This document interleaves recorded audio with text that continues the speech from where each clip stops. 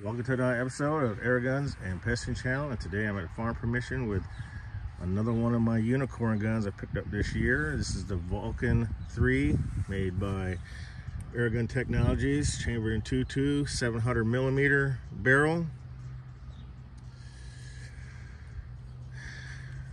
Shooting a Daisy hollow point at 901 feet per second or 27 and a half FPE.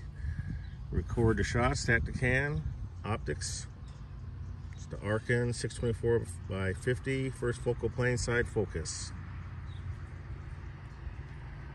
Also using uh, CARM magazines in a single shot tray and their magazines. This is a very powerful PCP. That is first blood hunt.